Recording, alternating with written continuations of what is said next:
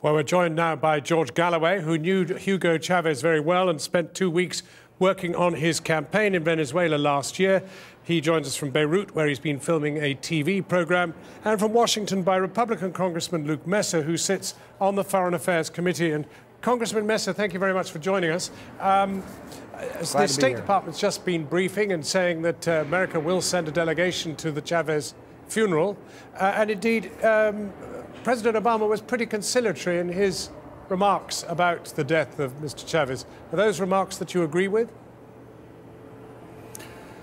Well, uh, listen, no one likes to speak ill of the dead, um, but we have to recognize in this moment what Hugo Chavez was. He was an anti democratic despot. He left his country worse than he found it.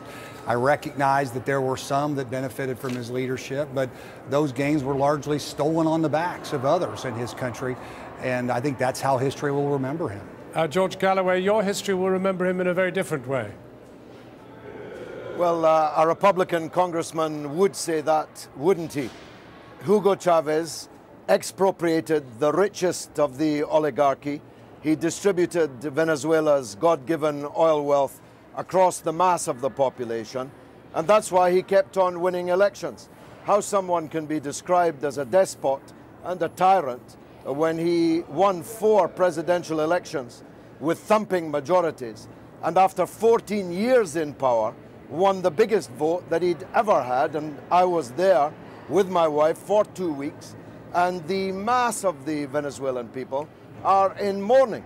Of course, the gold-toothed emigres who were dancing in the streets of Miami last night that the Republican congressman speaks for, they can dance on the lion's grave, but they can never be a lion. Well, uh, Co Congressman, I mean, it is true, of course, that he did win democratic elections, and indeed, you know, no less an individual than President Jimmy Carter witnessed one of them and certainly said it was a free and fair election. Uh, and that is a problem, isn't it? Because he, Venezuela is a very divided country, like many other countries in, in Latin America, and even in perhaps many states in the United States, have rich and poor. And Chavez sided with the poor. Yeah, you know, we have to recognize that while there were elections there, and I'm not suggesting they were fixed, you have a tie between government and government control of these elections that is not like an election, what most of us would consider in the, the West. When you take from one and give to another, the recipients of that theft uh, may appreciate it, but those who were stolen from don't. Uh, Margaret Thatcher famously said the problem with socialism is that eventually you run out of other people's money. Because of the oil wells in Venezuela, Hugo was able, or Mr. Chavez was able to survive longer than socialism might elsewhere. But the reality is, is that what he leaves for this nation is a nation whose economy is in shambles. It's had spiking debt, a 20% level of inflation, and he left his country worse off than he found it. Well, before I go back to George Galloway, let me ask you one question, which really is very poignant in this moment. One of the things which has changed in the last 14 years is that America itself has interfered much less in Latin America than ever in, in recent history. And that is surely a good thing and may in part be down to the very independent line that uh, Hugo Chavez pursued. Indeed, and he pursued Latin American unity. He introduced uh, Bank of the South, uh, University of the South, even Telesur, television of the South. He was keen and working on various projects like the ALBA uh, grouping, for example, to unite the peoples of Latin America so that they would never again be victims of the hegemony of the United States and what the congressman calls theft, other people call taxation of rich people so that their wealth can be redistributed amongst people who don't have enough to eat. Well, 94% of me, Venezuelans now just, eat three times a day. Let me pause you there, uh, George Galloway, because I just wanted to get this point with the congressman, which is ju just the question of America basically allowing Latin America to go its way. And what a way it is. I mean, Venezuela may be to some extent slightly behind, but the fact is the continent is romping forwards, and, and that is an interesting development. That's true, and, and those that, that have democratic governments and capitalist economies are doing much better than the socialist regime in Venezuela. I, I do uh, uh, I would associate myself, though, with President Obama's broad comments that now is a new day in Venezuela, and the Venezuelan people have the opportunity to choose new leadership. Let's hope they choose wisely, and, uh, and America looks forward to the opportunity to interact with uh, the citizens of that great nation. Well, but George Galloway, that is the next issue, isn't it? 30 days to choose a new president. Obviously, the vice president will be a candidate, but he's for whatever one may say, not Hugo Chavez, and it will be very, very hard to match what went before. Well, no one else is Hugo Chavez. There's not two Hugo Chavezes in the world, never mind in Venezuela.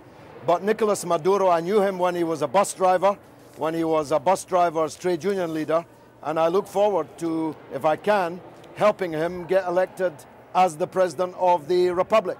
He's a man with the common touch. He used to drive the common people in buses, not something the congressman uh, can uh, claim to do, nor the people that he represents. I believe that Maduro will win a thumping majority in 40 days' time.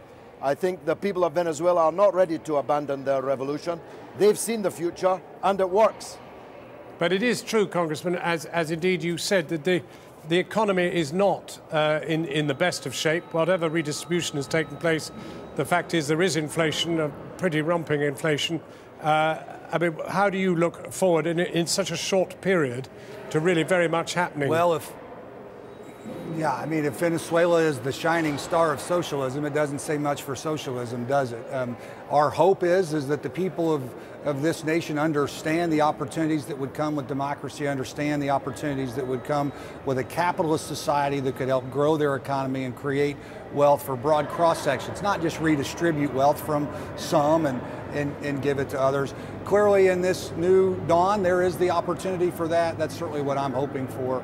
I think America stands ready to help if, if, if that's the choice.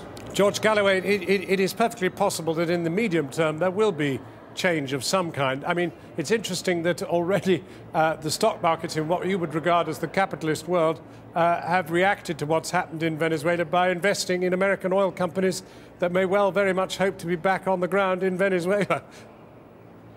Yeah, uh, uh despite the congressman's efforts to paint uh, Venezuela as a kind of Bolshevik, uh, a hive of Bolshevik stroke anarchy, the reality is that tax in Britain is higher than it is in Venezuela on rich people. Most of the enterprises in Venezuela are still in private hands. Most of the television stations are still in private hands and against Chavez and against the revolution. So this is not a red in tooth and claw uh, revolution. Uh, this is a labor revolution. Chavez right. stood for the kind of things that labor used to stand for. Most people in Britain and most people in the world think that would be quite a good thing. Thanks very much. George Galloway in Beirut and, and indeed uh, Congressman Messer in Washington. Thank you both very much. It's rare that one gets both sides of that dichotomy which confronts the people of Venezuela so articulately put. Thank you both very much.